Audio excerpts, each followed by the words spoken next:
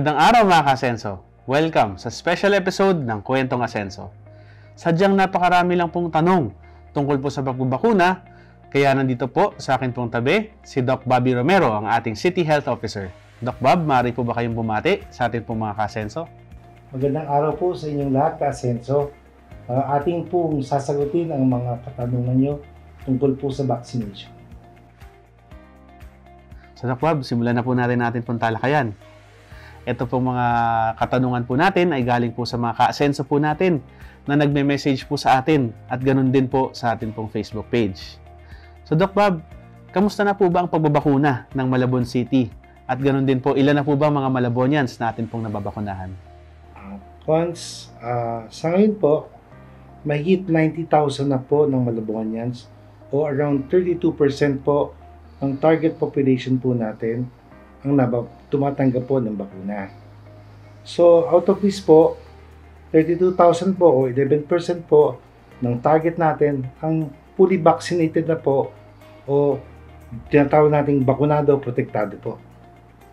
So, Doc, talagang marami pang kailangan bakunahan, ano? Opo. Doc, may dapat bang ikabahala ang ating mga ka-asenso na hindi sila nabakunahan sa nakadakdang araw ayon doon sa vaccination card nila for second dose? Once ang NBOC po o tinatawag nating National Vaccination Operation Center ay nag-release po ng advisory number 62. Ang nakasaad po rito, pwede pong ma-extend tong Sinovac dun sa schedule mo ng 3 hanggang 6 na buwan po. Kaya 3 to 6 months po pwede pong ma-extend po ang pagbabakuna sa kanila.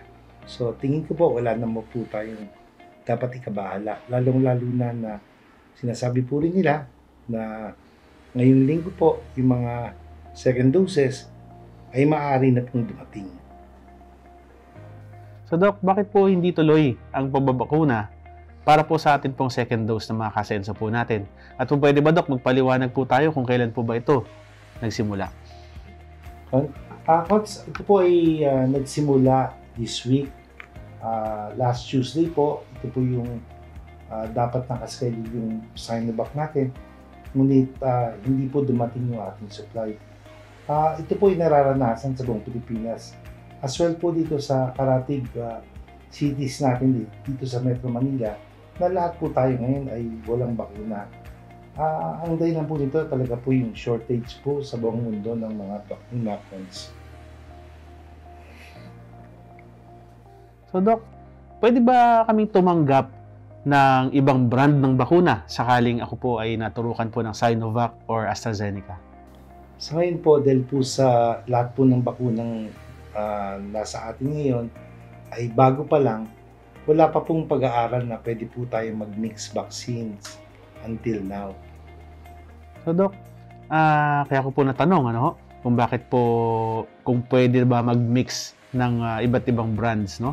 For example, ang first dose mo is Sinovac, kung pwede po bang uh, Pfizer or Moderna ang, ang inyong maging second dose.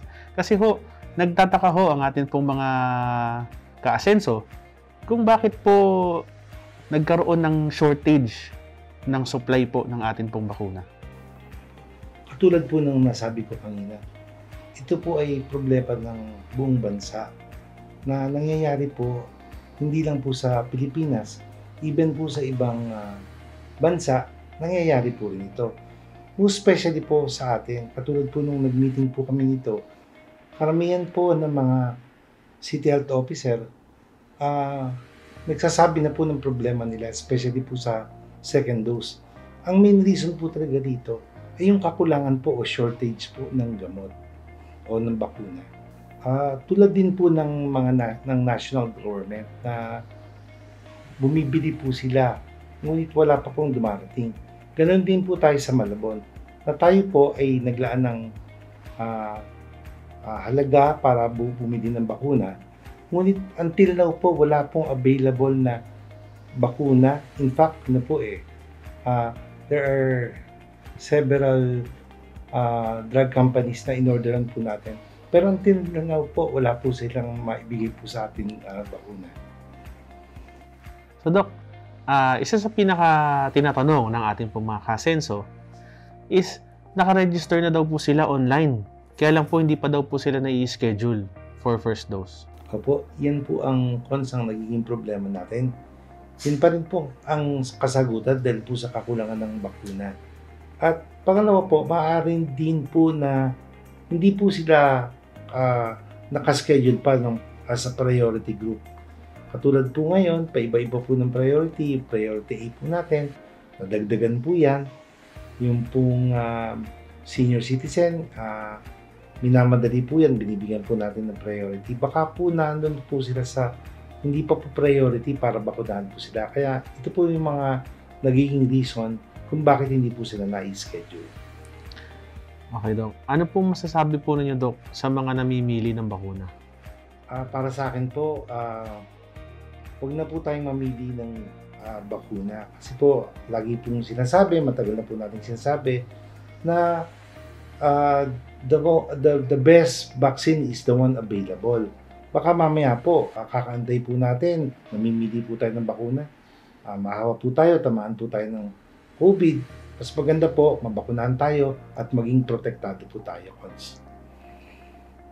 Dok, ano pong mangyayari ho sakaling na-miss po nila yung uh, nakatakdang petsa po ng kanilang second dose po sa vaccination card?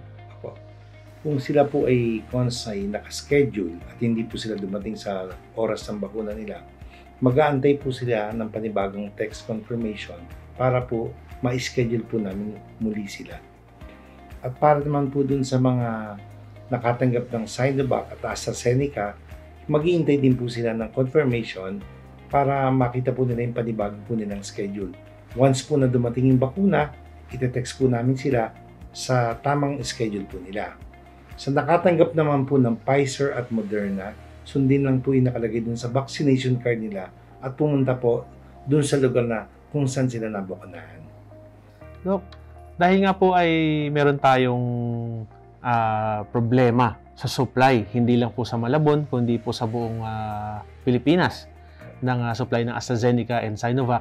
Kailan po kaya mababakunahan ng ating mga kasenso na meron pong ganong klaseng bakuna for second dose? once po dumating ang bakuna, especially po ng Sinovac at AstraZeneca, ito po i-schedule po natin kaagad-agad ng ang mga ating pong Malabonian ay maging bakunado at protektado.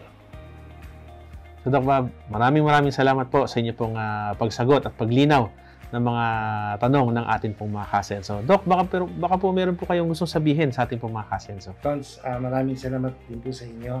At uh, sa ating po mga kaasenso at mga Malabonians, uh, umasa po kayo na ating pag-iigihin ang pagbabakuna dito po sa ating bayan at o lungsod ng Malabon. At Pons, maraming maraming salamat po. So, mga kasenso, maraming salamat sa inyong patuloy na pagtutok sa atin pong episode for today. Manatili lang po na naka-like at follow sa atin pong official Facebook page na at Enzo Reta PH. Lagi po nating tandaan Basta't sama-sama, tulong-tulong, kaya natin ituloy ang pag-asenso ng pamilyang Malabonian. Muli, ako po ang inyong kasenso, Enzo Oreta. Stay safe and healthy mga kasenso. Enzo,